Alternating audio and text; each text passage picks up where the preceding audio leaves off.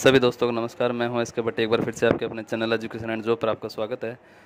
दोस्तों, हाल ही में जो Haryana police male male constable GD का एग्ज़ाम कैंसिल हुआ था, अब उसकी परीक्षा की तिथि एच द्वारा घोषित कर दी गई है। ये परीक्षाएँ उनतीस दस दो हज़ार इक्कीस से इकतीस दस दो हज़ार इक्कीस तक चलेंगी, यानी उनतीस अक्टूबर से इकतीस अक्टूबर तक चलेंगी। उनतीस, तीस और इकतीस अक्टूबर को ये परीक्षाएँ जो होंगी, वो इवनिंग और मॉर्निंग दोनों सेशन में होंगी। मॉर्निंग सेशन का टाइम सुबह साढ़े दस बजे से बारह बजे तक का होगा, जिसमें रिपोर्टिंग टाइम साढ़े आठ से नौ बजे तक का रहेगा और इवनिंग शिफ्ट में साढ़े तीन बजे से साढ़े चार बजे तक का रहेगा।